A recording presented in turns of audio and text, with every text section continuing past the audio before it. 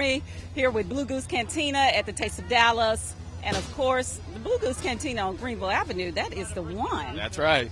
Is that yours? That that's that's the one that we're representing, as well as the other locations. Okay. Um, and we want to give a shout out to them. And you guys just Sure. opened up a new location, correct? we we've got a location in Addison, uh, Plano, Highland Village, Frisco, and then our Dallas Greenville location. So okay, so what can people expect when they come to Blue Goose Cantina?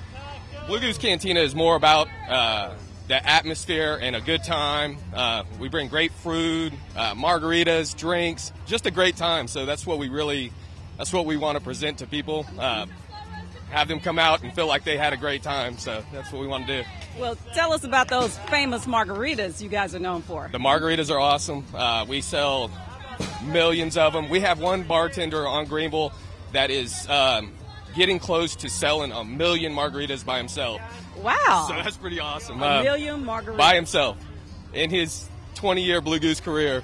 Well, let's give him a shout out. What's his name? Juan Valdez. All right, Juan Valdez. So everybody go see Juan Valdez at Blue Goose That's Cantina. right. Get a margarita. Yeah.